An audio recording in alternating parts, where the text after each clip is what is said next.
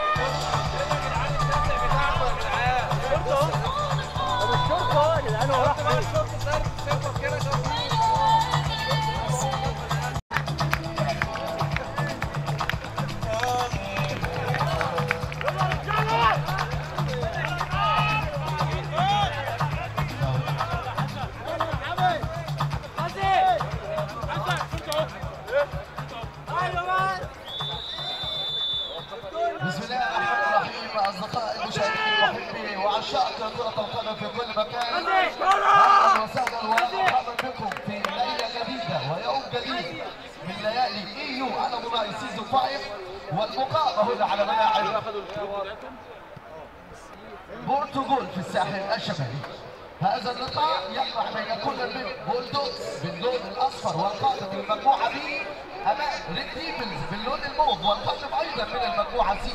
هذه المباراة تأتيكم في دور ربع النهائي ودعونا أصدقائي بقى نمر إلى تشكيلتي الفرقتين فريق بولدوكس اللون الأصفر النهارده كريم صالح رافة المرمى. قدامه كل من طارق صالح في اليمين صاحب القميص رقم اثنين. الشمال أوسكار صاحب القميص رقم 80 اثنين في قلب الدفاع عبد رقم خمسة وسوكي رقم أربعة.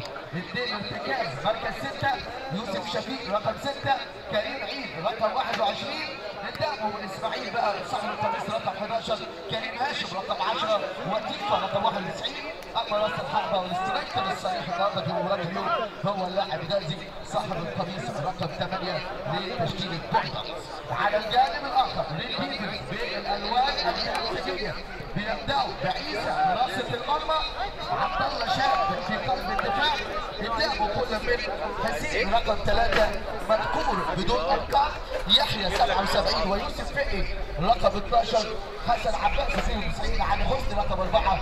في الامام حمزة رقم 11 ويحيى الشاعر رقم 2 ومنصوري صاحب القميص رقم 7 تضاد هذه المباراه تحكيميا بقياده محمد حامد حكم المساعد. ويعز كل من أحمد سامي المساعد الأول. واحمد عاطف المساعد الثاني. خلاص انتهينا من مرحله المجموعات. انتهينا طبعا بقى من مرحلة النقاط وتجميع النقاط.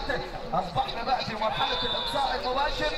من سيكون له بطاقة التأهل والعبور إلى الأدوار القادمه من هذه المباراة؟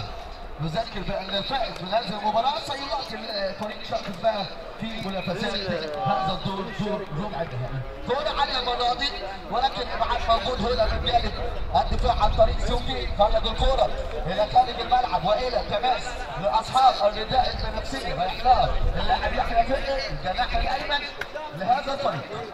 فريق ريد ديفلز الحقيقة لم يتحصل على أي بطاقه في دور المجموعات وبولدوجز بقى اللي كان حصل على أربع نقاط. مرحله المجموعات في المجموعة دي من احداث آه، آه، يعني مرحلة ال group stage. كره دي على منطقه الجزاء. حلوة اللفة حلوة اللفة وحلوة التسديدة من يحيى الشاعر ولكن تجد بقى أحضان حارس المرمى الحارس كريم سعد. أول بداية المباراة وإصابة. بداية المباراة وإصابة في لاعب سقط على أرضية الملعب. إن شاء الله بقى يوم سليم ويكمل احداث المباراة. بقول لكم إن شاء الله عندنا النهارده. ثمان لقاءات كلها في ادوار ربع النهائي ثم غدا إن شاء الله اليوم الأخير 11 أغسطس سيكون يعني يوم الختام ومسك الختام لهذه البطولة اللي ستقام في ادوار ال semi final وال final إن شاء الله. أيضا على ذكر اللقاءات النهائية سيكون لدينا أيضا semi final للفتيات والفاينل بإذن الله في ختام لقاءات الغد بإذن الله. بولي يا بولي حلو قوي إلى الامام الكره اللي في الجانب اللاعب المميز صاحب الرئيس رقم 8 غازي طارق حي في الجبهه اليمين يحطها في الشمال ودي كوره خطيره بقى من جانب تيكا رجع ورا على حدود منطقه الجزاء لمسه من كريم عدى كريم انطلق كريم اخترق منطقه الجزاء لكن بقى معاه رقابه معاه رقابه وفي كمان يعني سقوط ولكن حكم اللقاء اللي بيحتسب رمي التماس لصالح فريق بول تماس لاوسكار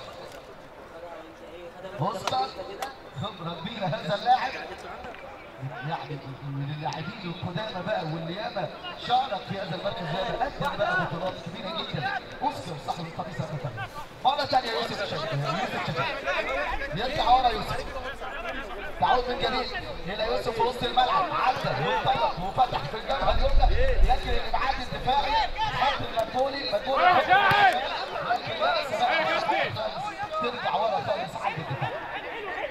من الدفاع للدفاع مرة ثانية.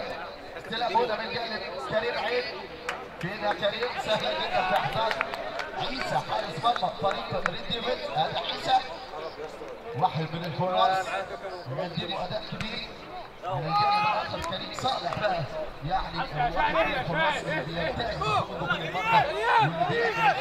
دفاعي قوي جدا على مستوى بقى الخروج من المرمى والهجمات من على الحدود وداخل منطقه الجزاء.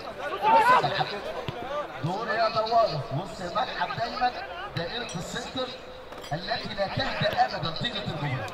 السلاح بص الاثنين عدى لكن مطلوب في الاستخلاص لكن تكتبه كوره ويحطها في العمق كوره في الأول لكن يا ولد يا ولد يا عيسى يا ولد يا عيسى من امام فيفا يطلع عيسى ويتصدى لاول فرصه حقيقيه على مرماه وكانت الحقيقة assist حلو قوي من نص الملعب ولكن بقى يطلع عيسى يفسد الهجمه ومن امام تيفا ياخد كورته ويبدا هجمه الفريق تعود من جديد ضغط من الاصفر انطلاقه من الجبهه اليمنى لكن طالب طالب حارس الأول امام بقى الحكم المساعد الأول احمد سامي يرفع عليه ويعلن عن وجود رمي التماس لأن تجاوزت الخط وبعد ذلك أشهر الرايه أو رفع الرايه وانطلقت صافره محمد حقق رمي التماس وطاقة التأهل والقبول إلى المرحلة الثانية.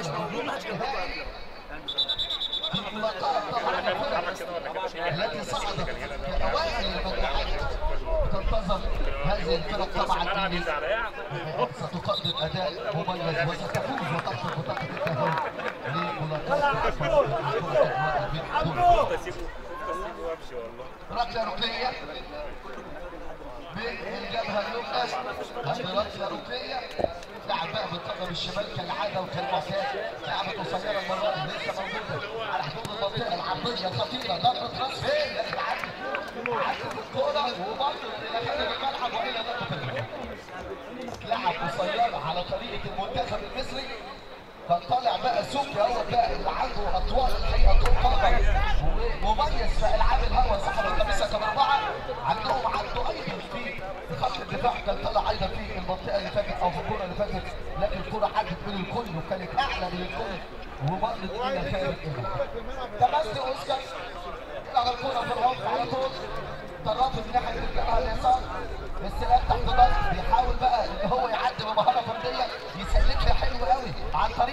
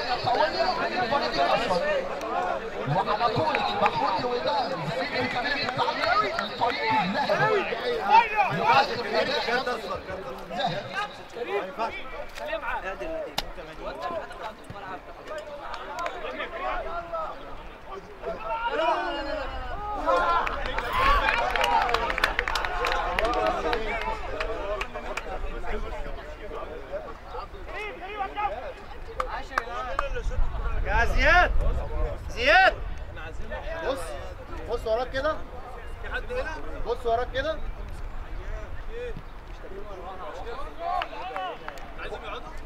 ما ما يقعدوش هنا خالص يا زياد. ما- مش متفقين يا زياد؟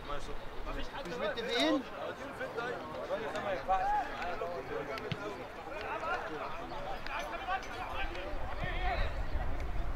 كده ولا على الصبح يا ابني انت وديت الكاتب فين؟ كاتر كان هنا. اهو كاتر اهو ما هو الكوتش ده بيمشي هنا كوبايتين ماشي إحنا هنصب عالية كورة هنا إلى جهة اليسار وهو محاولة المرور لكن كان حلو قوي تيفا تيفا عرشة وانطلق وسدد في على مرتين عيسى على مرتين على مرتين الخلاص من عيسى تاني تصدياته بقى بعد ما كان خرج الحقيقة في كورة. وطلع انفراد صريح من أمام تيفا وتصدى الكوره تانية لكن يمشي في الحقيقة الهدف الهدف الاروع حتى الان كان عن طريق اوسكار بقى بعد ما رجعها بالقدم الشمال وخدها يستقيم على طول في المرمى. هذا الحارس وسكنت شباكه معلنه عن أول أهداف هذه البطوله تماس من جهه اليمين لصالح لاعب ونجوم بولدوز على طولة ضربة راس. تبعد إلى خارج الملعب وتماس. بإشارة من المساعد كابتن أحمد سامي المساعد الأول في هذه المباراة. تعود من جديد إلى الجبهة اليمنى محاولة إيجاد ثغرة أو إيجاد فرصة للعرضية لكن ترتطم بقى في الطرد الموجودة وتتحول إلى ضربة ركنية لجهة اليمنى. خلي اللي يحمل يشيل ركنية. تتنفذ بالقدم العكسية. عكس الزاوية علشان تروح بسهولة كده باتجاه المرمى لكن رأسية دفاعية ترجع عند حسن يعود تصويبة تأتي هنا من جانب المميز يوسف شفيق. أقصى الجبهة اليمنى ولا لسه موجودة في الملعب. آه، يضيع يضيع فرصة كبيرة جدا فرصة في منتهى الخطورة عايز تقرا ال- عايز تقرا الحروف؟ أنت كده أنت كده قريت. متخصص في يقبل اليمنى هناك عند حمزة لكن أطول من اللازم على حمزة. عليه أدوار كبيرة النهارده سواء حمزة وحدولي ويحيى الشاعر. والأدوار الهجوميه اللي بيقوموا بيها هذا الثلاثي واللي ليهم الحقيقة بقى النهارده تكليفات كبيرة جدا على مستوى الخط الهجومي من أجل تسجيل هدف هذا المباراه تيفا تيفا داخل المنطقة. راوح تيفا حتى على حدود منطقه الجزاء لمسة من الشمال اسماعيل اسماعيل اشتغل باليمين ولف وسدد بالشمال على شمال عيسى علشان يضع الهدف الثاني واديله صوره اديله صوره صوره امامنا هنا الان الكوره على طول الاستلام والدوران والتسديد الزاويه الشمال علشان يتقدم فريق Bulldogs للمره الثانية في هذه المباراة بهدفين مقابل لا شيء وبتوقيع اللاعب إسماعيل. إسماعيل يسجل. أوسكار يضع الهدف الأول ثم يضيف بقى إسماعيل الهدف الثاني في هذه المباراة ويضع يا ابني. تيتو. سقف وسط الملعب التوقيت والاداء وهنا بقى العودة في المباراة بالنسبة للألوان البنفسجيه فريق كبير جدا. هل يعودوا في المباراة. هل يقدموا بقى أداء آه، آه، آه، يعني يعود بيهم على الاقل لتقليص سكواد اول هجمه بقى كده في تيتو. خط الخطوره لكن على طول الدفاع يلا تيتو. ويبقى الكره اللي خارج الملعب مفيش نزاع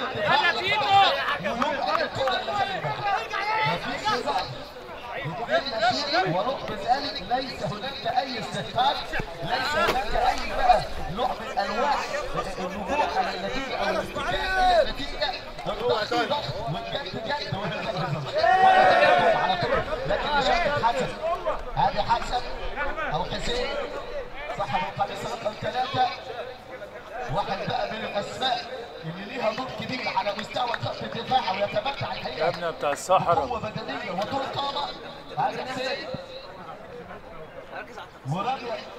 التماس من اليمنى لصالح فريق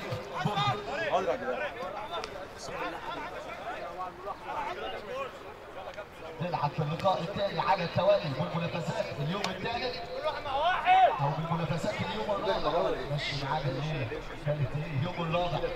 بالأمس كان اليوم الثالث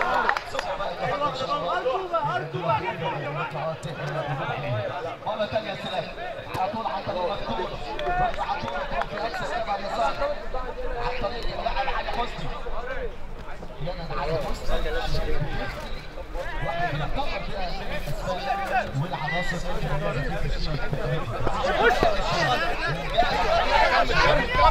شفنا منها الهربة الوحيدة اللي كانت على طريق مرة تانية بتقول بتقول يفتح في الشمال أقول لكم هي الجبهة الأكثر خطورة هي الجبهة الأكثر فعالية والأكثر شراسة لكن طالب الكرة وخرجت في دقيق أيمن اللي خارج يعني هدية بيلعب فيها طارق صالح مدافع الايمن أيضا اللي موجود في المرصاد لاي هو عندنا بندام ولا إيه؟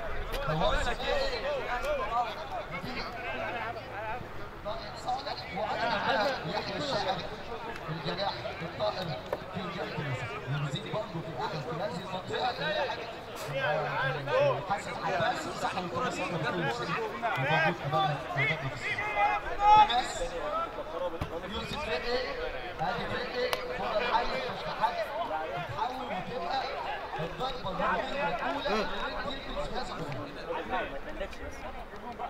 هذا تماس وليس تفهم لعبت على طول قصيرة الكرة العالية بقى والتشتيت والإلعاب في حاجة هجومية لسه فريق بيحاول بقى ان هو يرجع بيحاولوا ان هو يستفيدوا هذا التطبيق الفارق في هذه المباراه وبالتالي الوضع الهجومي الان موجود لمسه في الجهه اليمنى لكن على طول مفتوحه تصل باتجاه حسين لكن الامام بقى يشيل ويطلع ويرجع تضيع منطقه يا ولد يا ولد يا عيسى يا ولد يا عيسى طلع بالمرمى وهنا بقى الدور اللي بنتكلم عليه في ضروري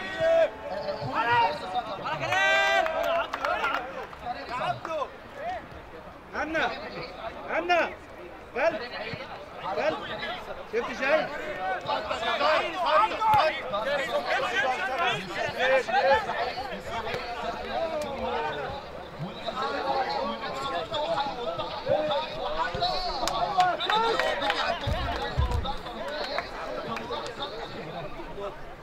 في اللحظة الأخيرة. يشيلها الدفاع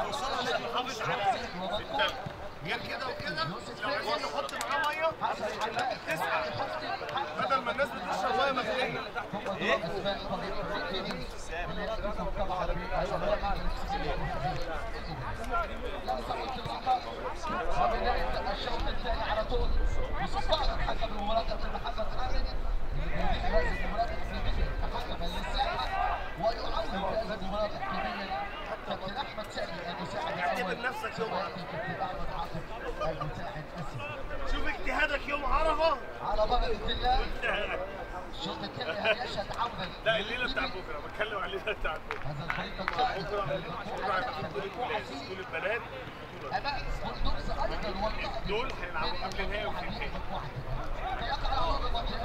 لا مش ماتشين أربعة قبل النهائي قبل النهائي الشوط النهائي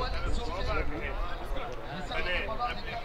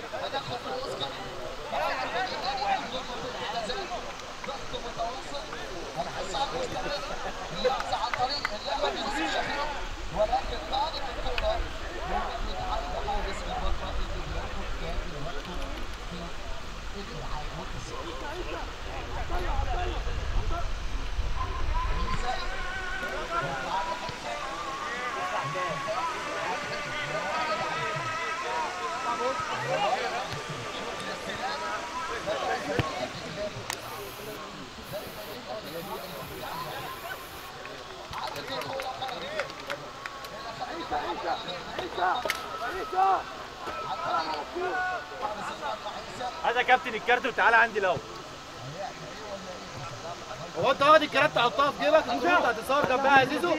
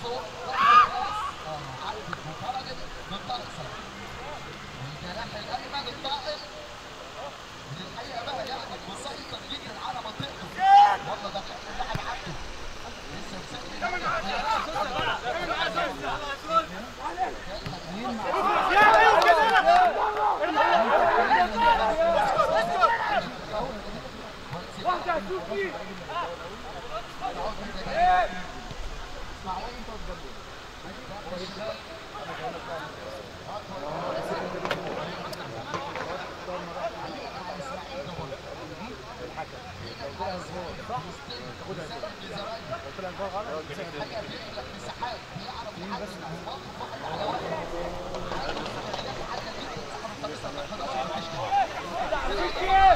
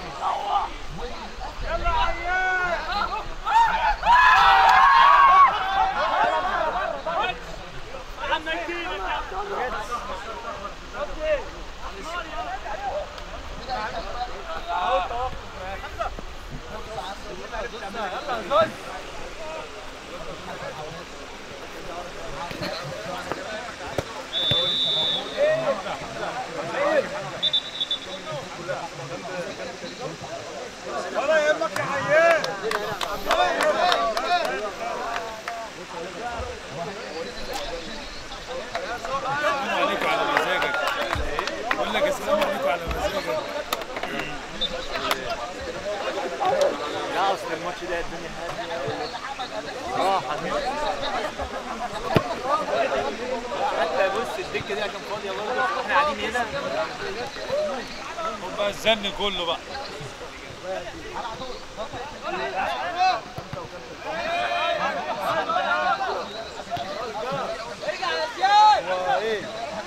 لك إيه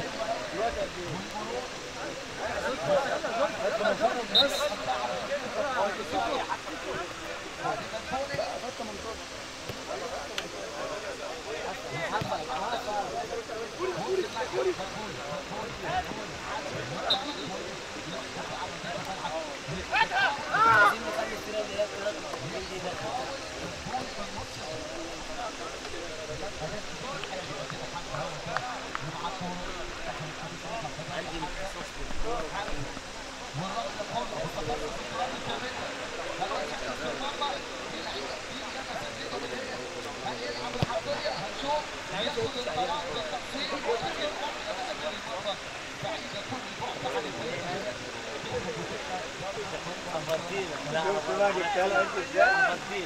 أنا مع الكلام